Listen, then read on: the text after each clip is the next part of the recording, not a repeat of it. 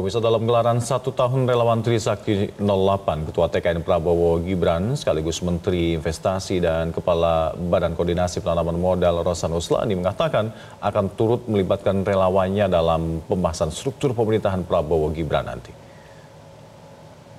Dalam acara ini turut hadir Menkominfo Budi Ari yang juga merupakan Ketua Umum Projo.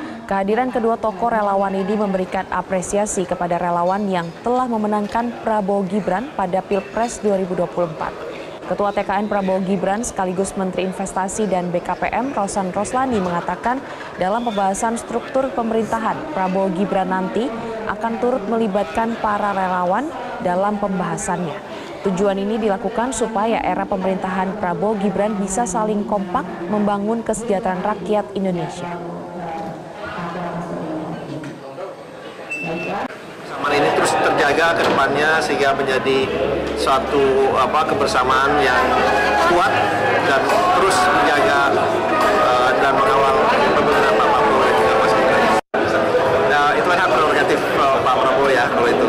Dan tapi tentunya kita kan juga pasti Pak Prabowo sangat mendengar, melihat uh, siapa saja yang berjuang bersama beliau dan tentu menjadi uh, prioritas beliau.